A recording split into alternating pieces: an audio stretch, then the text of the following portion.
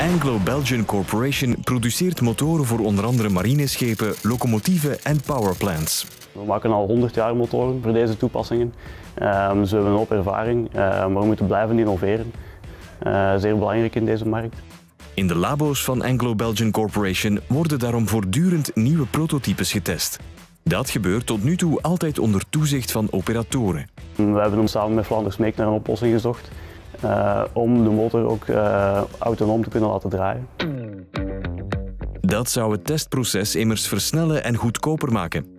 Het is echter belangrijk dat die testen veilig blijven verlopen.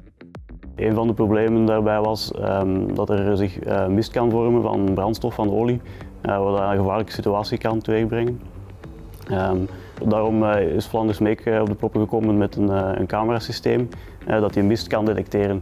En daardoor kunnen wij dan alarm genereren en de motor gecontroleerd laten, laten stoppen, zodat er geen gevaarlijke situaties ontstaan. dat zorgt ervoor dat wij geen operator in de motorruimte meer nodig hebben voor bepaalde testen. Um, en waardoor we bijvoorbeeld s'nachts kunnen draaien zonder dat er iemand aanwezig is. En daardoor ehm, versnelt onze productontwikkeling en kunnen we het product sneller op de markt brengen.